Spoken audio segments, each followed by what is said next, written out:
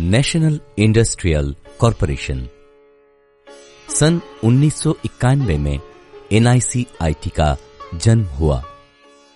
शुरू में ये NIC instrument and machinery trading forum के रूप में प्रतिष्ठित हुआ था। पहले इसका काम था टेक्निकल इंस्टीट्यूट जैसे इंजीनियरिंग पॉलिटेक्निक और आईटीआई कॉलेज में मशीनरी सप्लाई करना। यहाँ का चेयरमैन मिस्टर बरुनाभो चौधरी ने अपने लगन और मेहनत से इसे एक बड़ा रूप दिया। आज ये संस्था राजारहाट, कलकत्ते में कई सरकारी स्किल प्रोग्राम के ऊपर काम कर रहा है। वर्तमान में इस इंस्टीट्यूट का मूल लक्ष्य है वेस्ट बंगाल के कई सारी ट्रेडिशनल आर्ट और हैंडीक्राफ्ट के ऊपर कोर्स करवाना। जिससे वर्तमान स्टूडेंट्स इस कोर्स के द्वारा स्वनिर्भर हो सके और अपना सुंदर भविष्य खुद बना सके। यहाँ ट्रेडिशनल आर्ट के द्वारा कई प्राकृतिक चीज़ों को एक अनोखा रूप देने का प्रशिक्षण दिया जाता है, जैसे मिट्टी से बनाया हुआ शो पीसेस बाँस से बनाया हुआ कुछ ज़रूरी चीज़ें जो हम लोग रोज इस्तेमाल करते हैं। महिला के द्वारा बनाया एम्ब्रॉयडरी और कथा स्टिच।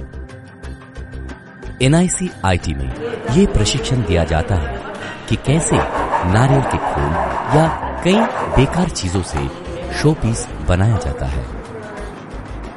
बंगाल के मशहूर ट्रेडिशनल आर्ट, तांत, जिसके ऊपर एनआईसी आईटी में प्रशिक्षण दिया जाता है। बंगाल का और एक ट्रेडिशनल आर्ट टेराकोटा तुलसी का माला, कई तरह के रोज़मर्रा का सामान, जैसे मूर्तियाँ शो पीसेस जूट मैट और bag, block printing, furniture making coir mats, soft toys, pottery और भी बहुत सारी सामान।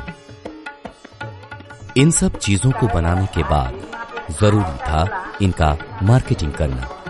इसलिए सन 2015 में एक मार्केट सर्वे के द्वारा ये बात सामने आया कि इस राज्य में जो लोग इस ट्रेडिशनल आर्ट से अपना पेट पालते हैं, उनका हालत बहुत नाजुक है।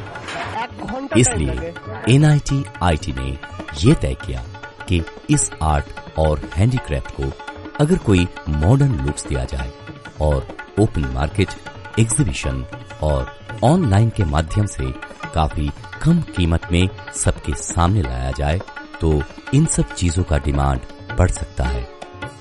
इसलिए एनआईटी आईटी का लक्ष्य यही है कि बंगाल के ये आर्ट और हैंडीक्राफ्ट को पूरी दुनिया के सामने ले आना।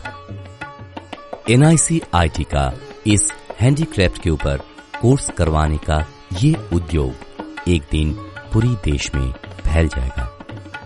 हमें आगे बढ़ना है, हमारे प्रकृति के साथ, जो हमेशा हमारे साथ रहता है।